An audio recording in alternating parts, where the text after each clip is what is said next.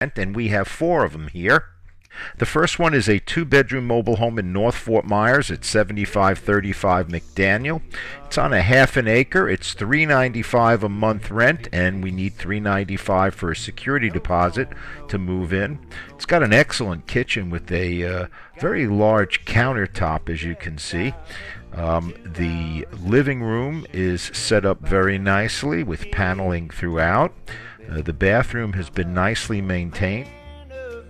The next mobile home is a two bedroom at 2198 Bahia Drive in North Fort Myers. That also has been just renovated. It's 395 a month for rent, 395 for a security deposit.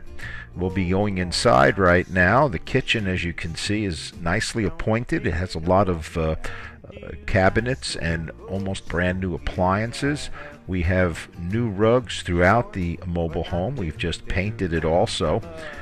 Um, we'll be going into the bedroom next. Uh, I believe we only go into one of the bedrooms.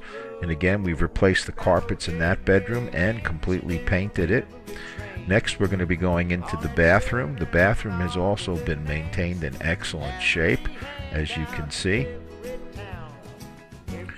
Um, we have a brand new tub surround.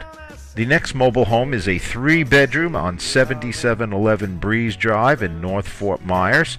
It rents for 495 a month plus a $495 security deposit. Uh, this home has also been recently renovated. Has a very nice kitchen, again with a lot of cabinets and almost brand new appliances. Uh, the rug in the living room, I believe, has just been changed, and the whole mobile home has been painted inside and out. And again, it's got three bedrooms, and the bedrooms are fairly large for a mobile home. The bathroom has been also well maintained and is in excellent shape. And it's a large bathroom too. It has a complete uh, tub and shower.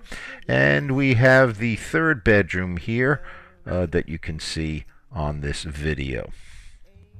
The last mobile home is a four bedroom mobile home on 2050 Zoysia Road in North Fort Myers.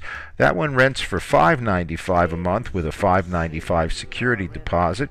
It's actually a double wide and it has a completely fenced yard, so if you have a pet, that would be useful. We've changed all the rugs in this apartment also.